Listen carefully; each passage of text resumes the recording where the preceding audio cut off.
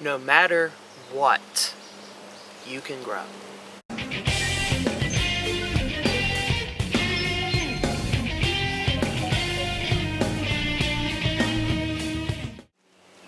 You, as a person, are a collection of ever changing events, circumstances, and memories that will be different tomorrow than you were yesterday, or today, or a year ago.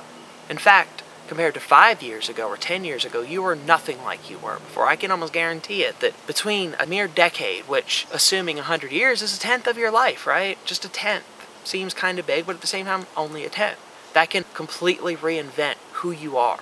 Or even less, five years, three years, a year or a day, depending on what happens, can reinvent the totality of who you are. And why I bring this up is because this is a good thing. Change is growth. Change is evolution. Adaptation is change. These are all the same thing in a sense. That when you experience an event that changes you, you have adapted to a new set of circumstances and have become stronger for it. A tragedy takes you. Terrible, right? Well, you have endured an event, and if you survive it, you will be inured, or at least more ready to deal with something like that the next time.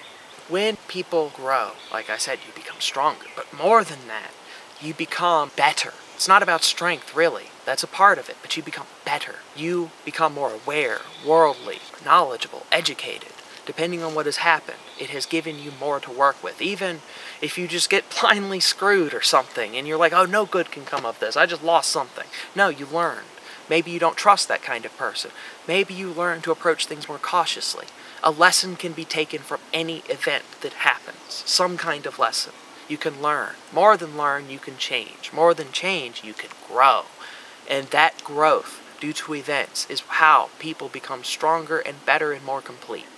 I encourage you, if something bad happens, or good, or anything, if something happens, to look at it as a teaching experience. Let it let you grow. Let it be the water that grows the flower of your mind and body. Just take growth in of itself, in all of the places it comes from, and let it happen to you. Though you may fear the unknown and change, the end result will be, so long as you guide it and are in control, it will be positive. Just something to think about.